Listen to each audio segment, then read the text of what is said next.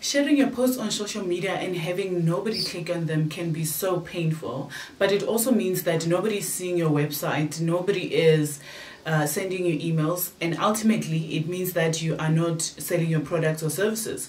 So, in today's video, I'm going to give you pointers that will help you or help um, you know your page get more views and more clicks and getting people interested in what you are selling or what you are offering. So if that is what you're looking for, then please do feel free to stay on and to subscribe to the channel because I am here for the small businesses. I'm rooting for you. I want you to win. You winning is helping me win, is helping the economy win, is helping a generation win. So let's get into today's video.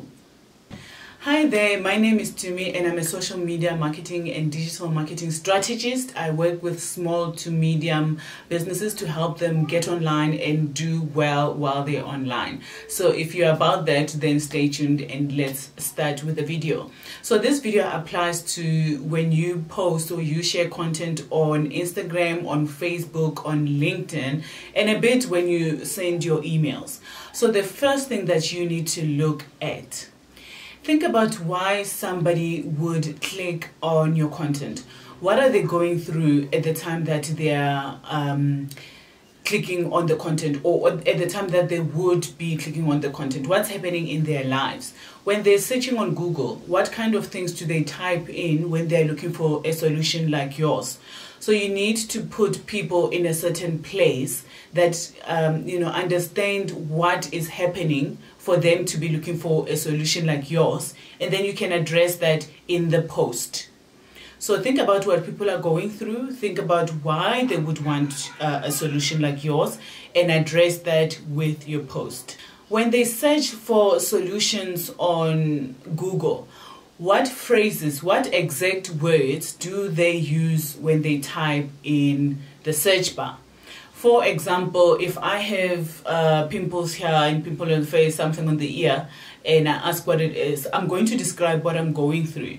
If I'm looking for a gift, I'm going to say gift for women in their 30s, or gift for him, or gift for her or gift for a five year old girl. So you need to know when people are looking for solutions like yours, what would they have searched? They might not necessarily use the exact words that you think that they use. So you need to know what other problems might lead them to a solution like yours.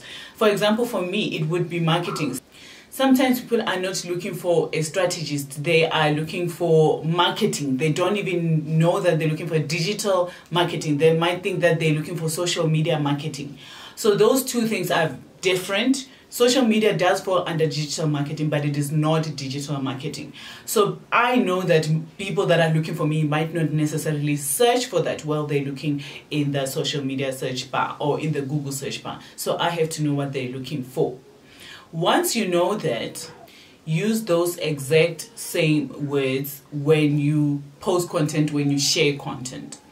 I read a book, uh, a copywriting book, and that guy said every time you write something on social media anyway, ask yourself, so what?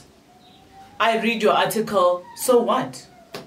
Okay, you know, like don't just share things for the sake of sharing things. How's that helping the other person? And after they see your content, what must they do? How must they feel?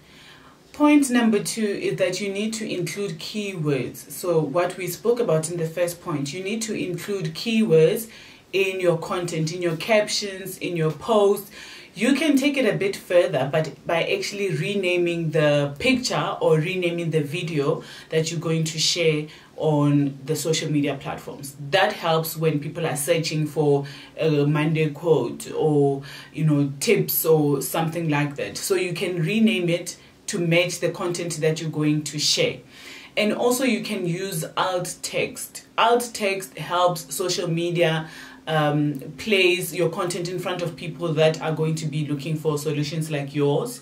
So use those tools. They are there for a reason. They help people find your content and click on the content because it's going to the relevant person. So the keywords are very important in content sharing. In order to find the right keywords, in addition to what I already said that you can, um, you know, search on Google. First of all, on Google you can even type in before you even finish. You, I'm sure you have already seen this. When you type in on Google before you even finish your sentence, it's already suggesting what other people are searching for. So use that to your advantage. If you say digital marketing. Mm, it might show the history of what you have searched for, but it's also showing what other people are searching for. Or if you say marketing, and then it's going to show maybe marketing near me, marketing services, marketing. So it's going to show you ideas on what people are looking for. So use that to your advantage. Another way that you can find keywords that actually work um, is to go into social media groups, go into LinkedIn groups, Facebook groups, any other group that you can find on social media and read through what other people are saying. You need to learn to listen. As a marketer, as a small business person, you need to learn to listen to hear what is going on in your industry, in the market, how people are looking for your services. So you need to look at what people are saying in the group. Somebody might be saying, Help me, I have this skin rash that's not going away, or whatever. I've tried this and I've tried that. And then what you do is that with your content, you go and you say, if you are a dermatologist, for example, you go and you say that if you're looking, if you have this breakout that's been going on for months, this is the solution that you have. You might have tried this, you might have tried that, but it hasn't worked. So this is what you can try now. Immediately, a lot of people that resonate with the other person because we share experiences. It doesn't matter what world uh, you live in or what continent or what province or what you know what state and all of that you live in we share experiences. So if somebody's going through something here a lot more other people are going through the same thing. So you want to address that.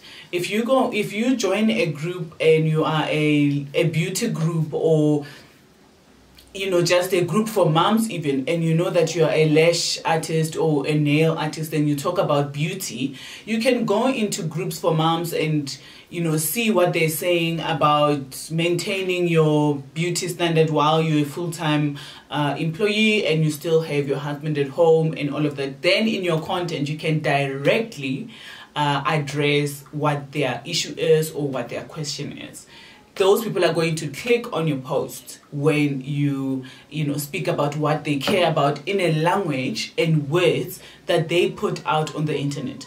Because sometimes when you know something you end up using big words that people don't understand. A lot of people don't understand social media marketing. They're like uh, what is that? You post on instagram and they're business owners. So you have to know where your people are. Unless you target big companies they already know what digital marketing is and you know where it fits into their entire company. But if i use big words on small business owners that are just starting especially in south africa they're just starting um, you know with marketing online they don't know a lot of the words like seo all of that. And then i see a lot of people trying to tell people about that. They don't know what it is and how it fits into the entire picture. But if I say I'm going to help you find words that will help your content get found, they understand that. So you need to know your people, what words are they using to search for solutions like yours. Let's move on to the next point. Point number four is that when you share content, if you want it to be clickable, remember to tag people that you share, um, people that inspired that content. For example, if you read a book and you want to give pointers on the book that you read and how it helped you, you want to take the author and the author might share on their on their page, you know. Um, and you want to make sure that even in the caption maybe you write their content because that's going to associate your content with his people's content and that opens up even more um, audience for you and your content. So I have seen a few times where people share um, where people share stuff that I have posted and stuff that other people have posted from their company and they don't tag like sometimes I just bump into it in the stories because I'm looking at other people's stories and I'm like oh I would have shared if you shared it in your stories and you told me. Now Instagram, it kind of shows you sometimes, unless somebody screenshots that somebody it sends you an inbox that somebody shared your post. But sometimes you know you can miss that but if you tag me it's going to appear it's going to flag me that somebody tagged me in a post and i'm going to be aware of it and i'm going to share it on my page because people like to share things on their page that other people are sharing so that's how you're going to get more people to come to your page and possibly be you know potential clients or potential customers that are going to buy from you so let's move on to the last point for today. Don't forget to subscribe and don't miss um, you know any other video to help you and your business and your wealth and all of that. So let's move on to the last point. The last point is that you need to remember your punctuation, your spelling, and remember the spaces. I have seen people use, we are all using Canva now if you're not using Canva, you you are special.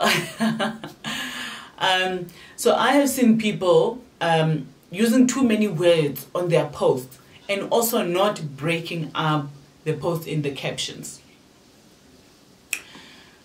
When you share, people are lazy to read. We are all lazy to read these days. I read because I read books, but we're not many. If you see the amount of people that actually read books in in the whole world it's very little so people don't want to read but people will like take this information take that information this and here and there so if you break up this information the first sentence might be very relevant and then you need to put things in numbers or you can just dash dash dash just to make it point you know like make write pointers pointers are very easy to one two three four five to read through than a long paragraph explaining all of the people are not going to read that.